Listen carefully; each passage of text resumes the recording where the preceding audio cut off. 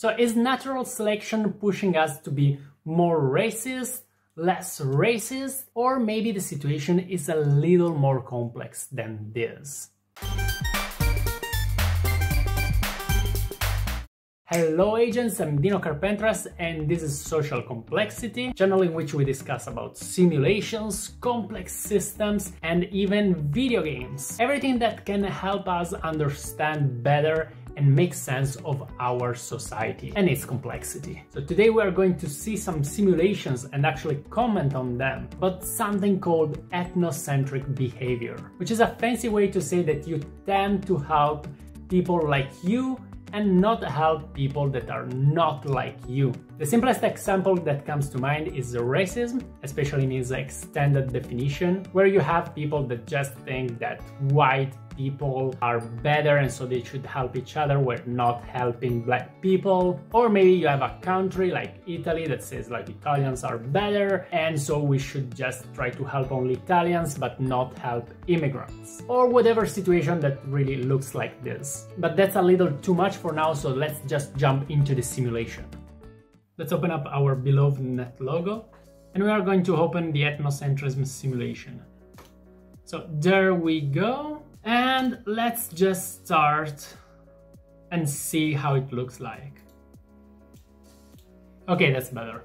So let's set up this thing and you see we have a tons of colors and shapes. And if you watch the video on uh, agent-based modeling, cellular automata and all this stuff, maybe you're familiar with this because actually this is really similar to a cellular automata simulation plus a tiny bit of game theory. But if you didn't watch any of this, don't worry, pretty much here we have each one of this shape is actually a person and they may decide to help each other or maybe to cheat, like to not give anything to the other person. Eventually they can still receive from the other person without giving anything back. But we are not here to judge them, we are here to see what is the best strategy. Indeed, actually they can give and receive and they can help each other and depending on how much they receive is going to improve their probability of surviving and eventually reproducing. Indeed, here we will see that some of these shapes are going to reproduce themselves. So for example, close to an orange circle, actually we don't have orange, to a yellow circle we might have appearing another yellow circle and maybe even more yellow circles. So what is the shape and the color telling us? The color is telling us something like how they identify. For example, green might be white people, yellow could be Asians and red might be black people. Or I don't know, they might be Americans, Italians, French, and they can recognize that they belong to the same group or eventually to a different group. So for example, this red square really knows that this guy is not like him, so it's not red, but this guy is like him, also this red circle is like them. So what is the shape telling us? Pretty much circles tend to share, they tend to help others. And I'm not gonna get into details with the squares, if you want here there are all the informations, but just focus on the circles for now because it's more interesting for us and I'm not going to overload you with too much information. So circles always help each other, but there is a difference between hollow circles and filled circles. So filled in circles cooperate with every color so if they're red they can cooperate both with red blue green. They don't care about anything. They're really really nice. While empty circles cooperate only with the same color. So this filled in red will cooperate with everyone in the surrounding so they will give to everyone. They don't care if they receive anything back they will always give something. Well, this empty red circle here is going to cooperate only with this red and this other red because it is going to recognize that these are also red, so they're like him, and is going to help them but it's not going to help anyone else. So I'm going to remove eventually immigrants and also mutations because in the original simulations you can also have mutations and I'm just going to see what is the best strategy without mutations. And let's see what happens. So we see they tend to replicate and some survive, some other die. And let me speed this up a little.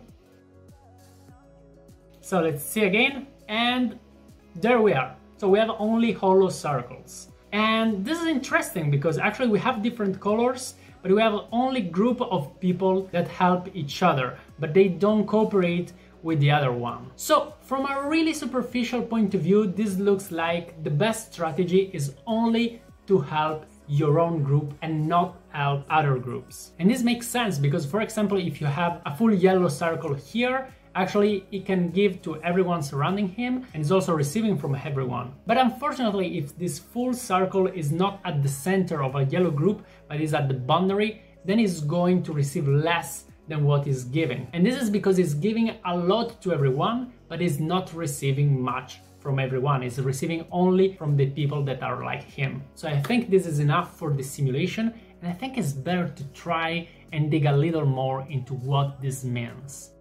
So here we are outside the simulation, and let's start to understand something. Because some way it looks like the simulations is telling us something like racism is good, which actually we know it is not. And I think here we first need to differentiate two things. So one is the moral aspect, and I think everyone can agree that racism is and the other thing would be it is naturally good. So some way like evolution is giving you some prize, is pushing you to be racist. And I know here a lot of people struggle because unfortunately we have a lot and lot of rhetorics that is saying that if something is natural, then that's good. And that's definitely wrong because actually you know what else is natural? Malaria. You can have all kind of disease and natural disasters that are 100% natural. The fact that something is natural doesn't mean it is good. So really, Natural only means natural, it doesn't mean good. These are two totally separate concepts. But then also, is the simulation telling us that actually if you're racist, you're gonna gain something? Is nature pushing you or giving you some prize for being racist? And from what we saw in the simulations, the answer is it actually depends. And it depends on the way that society is structured. Because now just think that you are part of a society of yellow circles and everyone is sharing with everyone. But then you come up with a group of people, like you and some friends, and you are receiving from everyone, but you are not sharing with other people.